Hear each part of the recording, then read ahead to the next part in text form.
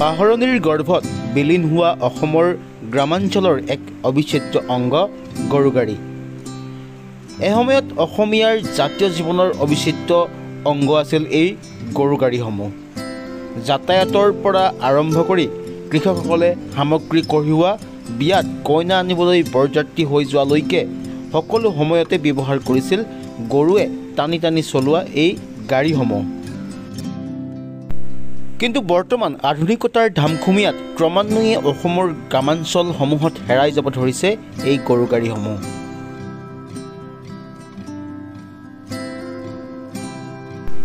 গৰু গাড়ীৰে খেতিপথাৰলৈ ধান আনিবলৈ যোৱা বজাৰ হাট কৰিবলৈ যোৱা প্ৰকাণ্ড প্ৰকাণ্ড বলদ গৰুৱে টনা গাড়ীসমূহৰ দৃশ্য এতিয়া একেবাৰে সহজলভ্য হৈ থকা নাই।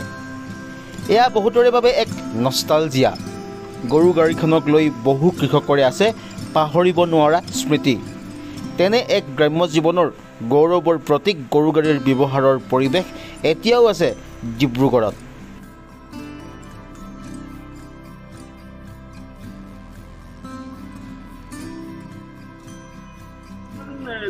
গৰু গাড়ী বাঁহ নিয়ে বাঁহ এখন মোৰ পঁয়ষষ্ঠি সত্তৰ বছৰ হৈ গ'ল। অঁ গৰু গাড়ী হাল বাওঁ আৰু গৰু গাড়ী চলাওঁ নামটো মহিবুৰ ৰহমান। ঘৰ চালখোৱা ঘৰ বন্দি চুক। বহুত আৰু মোৰ লগৰ আছে আৰু পাঁচ ছজনমান আজু ককাই চলাইছিলে। অঁ আজু ককাই চলাইছিলে তেতিয়াৰ দিনত। গৰু গাড়ীত মানে এনেকে বাঁহ লৈ যাওঁ ডিব্ৰুগড়ত পেলাওঁ। আৰু ঘৰলৈ ঘূৰি আহোঁ। পৰিয়াল পোহপাল কৰি আছে? হয়। ভাল লাগে মোৰ এজন গৰু মই এতিয়া সত্তৰ হাজাৰ দি কিনিছো। সত্তৰ হাজাৰ এটা গৰু। এহাল গৰুৰ দাম কিমান হ'ব? এক লাখ চল্লিছ হাজাৰ। ডিব্ৰুগড়ৰ চাউলখোৱাত পাঁচখন গৰু গাড়ীৰ ব্যৱহাৰ বিভিন্ন কামত ব্যৱহাৰ কৰি থকা পৰিলক্ষিত হৈ আহিছে।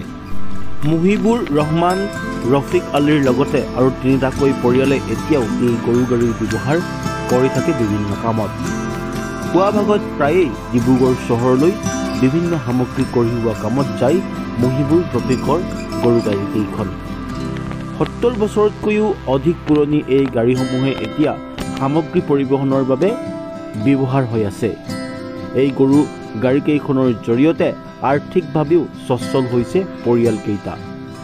বৰ্তমান যান্ত্ৰিক গাড়ীৰ বহুল প্ৰচলনে গৰু গাড়ীকেইখনৰ ব্যৱহাৰ কমাইছে যদিও মহিবুৰ ৰফিকৰ দৰে ব্যক্তিয়ে চলাই আছে এই গৰু গাড়ীকেইখন